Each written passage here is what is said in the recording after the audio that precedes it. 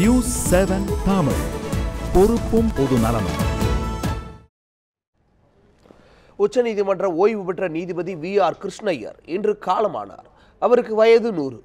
கடந்த சில மாதங்களாக உடல்நலம் பாதிக்கப்பட்டிருந்த அவர் கொச்சின் மருத்துவமனையில் சிகிச்சை பெற்று வந்தார். இந்த நிலையில் சிகிச்சை பலனின்றி இன்று மாலை உயிரிழந்தார்.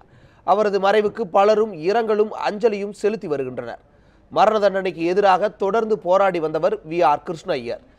மேலும் கேரளாவில் அமைந்த முதல் கம்யூனிஸ்ட் ஆட்சியில் அமைச்சராகவும் கிருஷ்ணய்யர் பதவி வகித்தார்.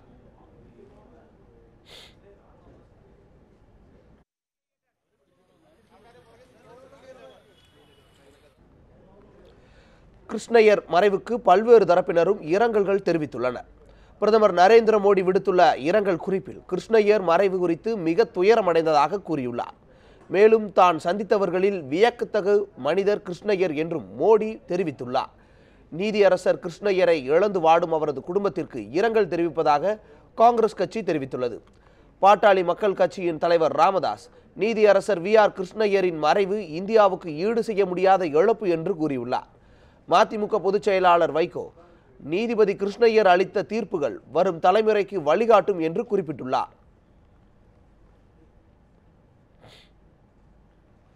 நீதியரசர் வி ஆர் கிருஷ்ணய்யரின் வாழ்க்கை வரலாறு குறித்து இப்போது பார்க்கலாம். ஆயிரத்தி தொள்ளாயிரத்தி பதினான்காம் ஆண்டு நவம்பர் ஐந்தாம் தேதி அப்போதைய மெட்ராஸ் மாகாணத்துக்குட்பட்ட பாலக்காட்டை அடுத்து வைத்தியநாதபுரத்தில் பிறந்தார் இவர். ஏழை குடும்பத்தில் பிறந்த இவர் தன் விடாமுயற்சியால் உயர்ந்த நிலைக்கு முன்னேறினார்.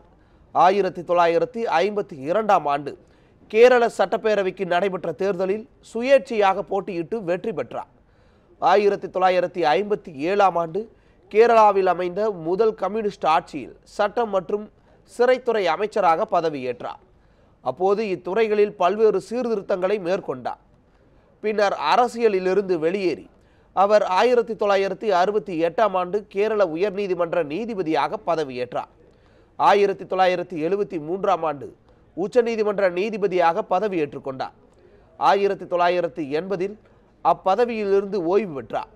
கிருஷ்ணய்யரின் பதவிக்காலம் நீதித்துறையின் பொற்காலமாக போற்றப்படுகிறது. பாதிக்கப்பட்டவர்கள் யாராக இருந்தாலும் நீதிமன்றத்தின் கதவுகளை தட்டலாம் என்ற நம்பிக்கையை விதைத்து மக்கள் மனதின் இவரின் தீர்ப்புகளால் விதைக்கப்பட்டது. பொதுநல வழக்காடுதலை இந்திய நீதித்துறையில் பரவலாக அறிமுகம் செய்த பெருமை கிருஷ்ணய்யருக்கு மட்டுமே உண்டு.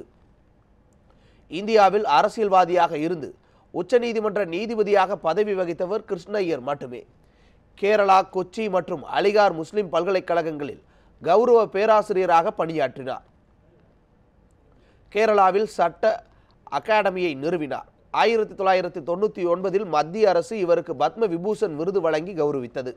சட்டம் நீதி தொடர்பாக நூற்றி ஐந்து புத்தகங்களை இவர் எழுதியுள்ளார்.